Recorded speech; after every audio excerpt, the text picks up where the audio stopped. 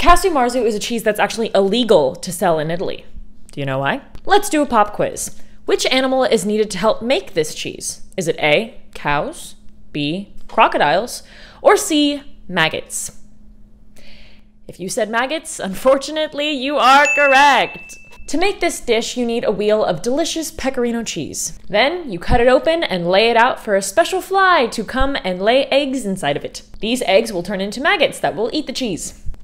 Oh, but don't worry, it gets much worse. Not only is this cheese infested with maggots, but the creamy, cheesy goodness itself is actually a byproduct of these bugs' defecation. In other words, the cheese is maggot poop. So, would you try this funky, chunky delicacy?